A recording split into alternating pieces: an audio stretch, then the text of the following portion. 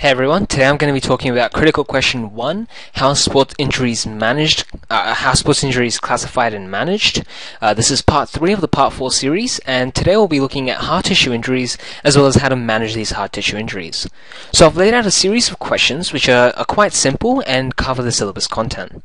First thing we're going to be looking at is about fractures and dislocations, and then we're going to be moving on to the assessment for medical attention as well as immobilization. So my quest, first question says, what are hard tissue injuries? So what you need to remember is a hard tissue injury is any damage to either the bones or the teeth. That is the simplest way I can put it, and I think that's just the, the main gist of this entire part where you need to know what hard tissue injuries are. Hard tissue injuries are just any damage done to either the bones or the teeth. Now we'll actually look into what type of damage there, there can be. So the first type of damage is fractures. Now fractures, they come in many different types. There's uh, a few different types that you, you might need to know, but you just need to generally know what fractures are and uh, how they actually are hard tissue injuries. So I'd like to define as fractures as some sort of a crack or some sort of a, a break inside your bone. That's what I'd define fractures as. So uh, either a crack or a break inside your inside bones.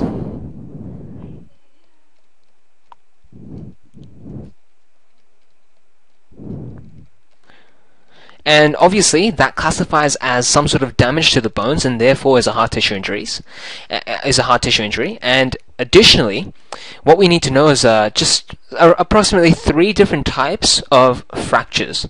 So the first type I'm going to be talking about is simple fractures. So the name pretty much actually uh, tells you everything that you need to actually know about that uh, fractures. A simple fracture is when there's a clean clean uh, uh, a break when when it's been when a bone has been broken completely cleanly and com- like and from the bottom to the end of the bone has been completely broken. So there's no sort of um, bits and pieces of the bone just lying around. It's a complete break and it's very clean. So a clean and complete complete breaking of bones. That's what a simple fracture is. Um, the the next one I'd probably remember is compound fractures. Now, compound fractures occur when you have uh, bits and pieces of the bone scattered around after it's been broken. So it's not actually a clean break. It's it's uh, you can almost say it's a dirty break because it's bits and pieces of the bone just around. It's uh, bits and pieces. Ah, sorry about the spelling. Pieces. Bone. Around the break. And um, lastly, I would like to say that the last thing you actually need to remember for fractures would be um, hairline fractures. So hairline fractures are, I'll just write it here. Hairline fractures are actually the, the ones which have the most uh, least effect, have the least effect on, on you, because sometimes you can even have hairline fractures without noticing it, and they're not actually that um, painful or characterizable. Hairline fractures are a microscopic fracture, and uh, th- th- these type of fractures can go undetected for long periods of times, and the only real issue with hairline fractures is that it can lead to bigger fractures. So I'll just say a microscopic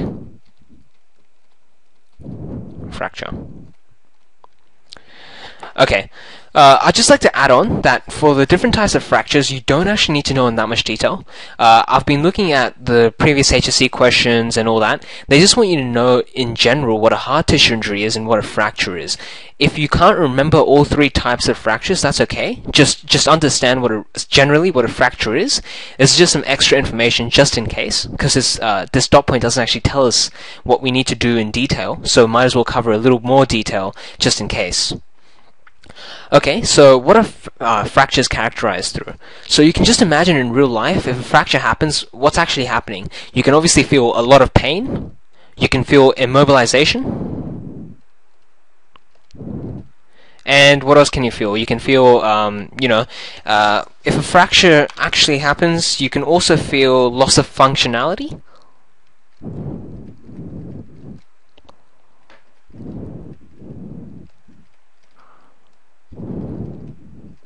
Uh, additionally, when a fracture happens, you can feel deformity or swelling.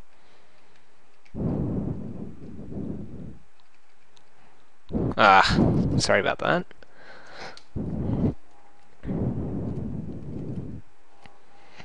And swelling. And lastly, uh, you'd probably also hear a noise when the fracture happens.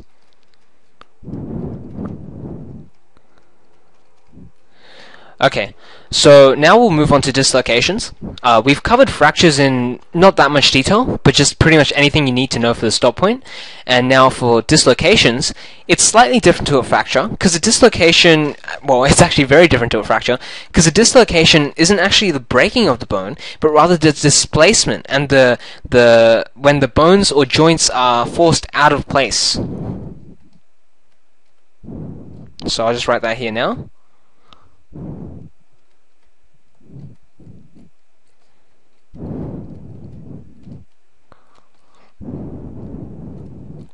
Okay, so when when these uh, bones are forced out of place, there's a few things that you need to uh, think about. The first thing is that whenever these bones are uh, forced out of place, you should never ever relocate your bone, because all that's going to do is it's going to lead to more damage to the surrounding ligaments. So you don't want to you don't want to relocate it yourself.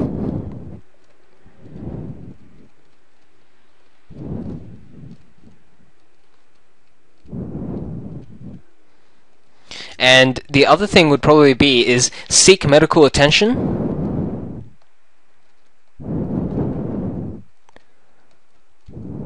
Immediately. Because th the real way to actually have these dislocations treated is getting a medical professional to relocate these bones which have been out of place from the joints. Um, and I'd just like to add on that dislocations, they're usually due to uh, direct forces. So I've talked about direct forces in my previous videos, and they're, they're due to direct forces. Um, okay, so as you can imagine, these dislocations can lead to a few things. So the first thing it could lead to is loss of function.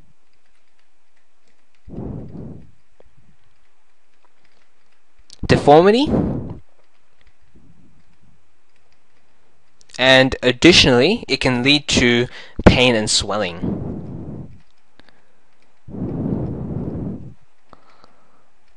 Okay, perfect. So now we'll move on to how we actually manage hard tissue injuries. It's it's quite simple. There's not really much you need to remember. It's just the entire the entire gist of this is that to manage hard tissue injuries, you need to visit the doctor, you need to get a referral, you need to go to someone who's a medical professional for help because hard tissue injuries aren't that easily to aren't that easy to treat themselves um, by just a normal individual. So the main the main crux of this is that it needs to be treated by qualified medical professionals, and uh, a fracture or a dislocated joint has to be taken uh, for either an X-ray or you know just just a general consult uh, a, consulting uh, thing with doctors to make sure that there's no further damage done to the ligaments surrounding it or you know anything else. So it's it's it's quite obvious that for the assessment for medical attention means that we need to get referral from medical professionals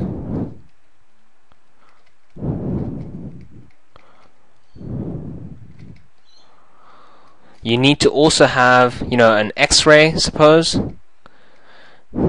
Um, and it has to be immediate because if you leave these fractures and dislocations uh, around for quite a time, it can lead to more damage itself. And th the thing is that we, we need to do this assessment for medical attention just to ensure that uh, there's no further damage do being done.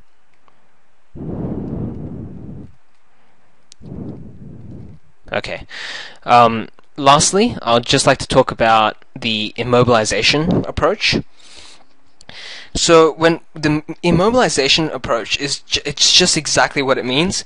It's it's making sure that the bone or dislocated area doesn't actually move and it's stopping movement in that area. So stopping movement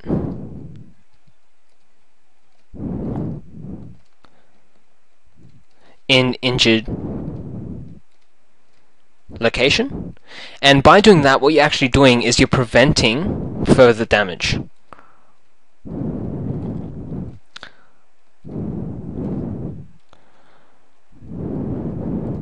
once again, I'd like to stress that this actual part of the syllabus isn't isn't actually um, focused in that much of detail because it's just supposed to be something that's supposed to be general knowledge, very vague, very brief. I've done this video in a, a lot more detail than needed, and just pretty much remember the, the very basics of this because that's all you really need to answer any questions related to this. Um, not once in my life have I seen in the last few HSC papers or even more than that uh, any questions which go into intense detail about fractures or dislocations. It's just a general definition and you just need to know the general uh, the general idea about assessment as well as immobilization for managing these hard tissue injuries. Okay, thanks for watching and the next video will be about TOTAPS and how to actually um, assess these injuries.